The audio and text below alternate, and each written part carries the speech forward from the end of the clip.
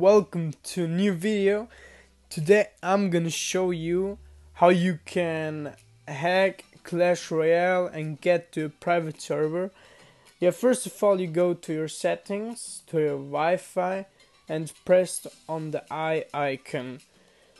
Then you go to the DNS bar and type this code in. After that you go back and you can just load Clash Royale.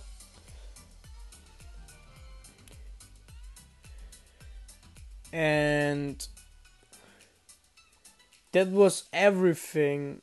It's pretty easy and now you have unlimited gems, unlimited gold. You can buy stuff.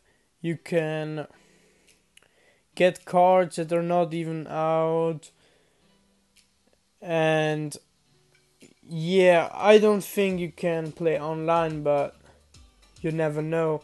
Maybe if more players come but what you can do is you can play here on training battlefield.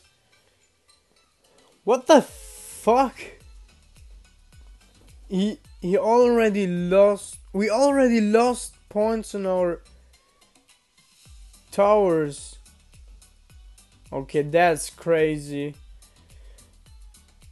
But yeah if you enjoyed what? Oh my god oh my! I can't i can't drop anything.